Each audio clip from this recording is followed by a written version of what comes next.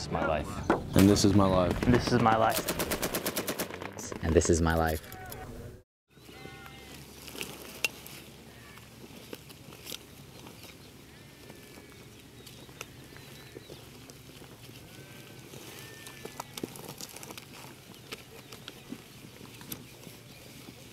So far, um, haven't been taking a lot of contact. Maybe just like a pop shot here, there, or maybe just like a random RPG or, or mortar round.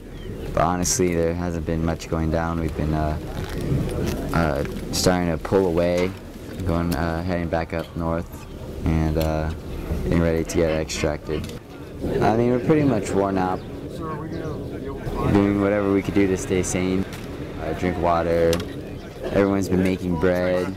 One of the guys, uh, he uh, he has some speakers and we play music. Food, sleep without any disturbances, not getting shot at every day or anything like that.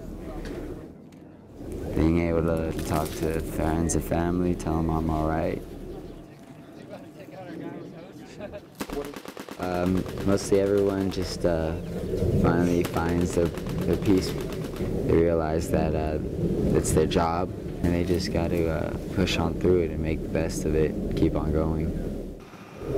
We, we're all okay and we're fine and ready to go back home.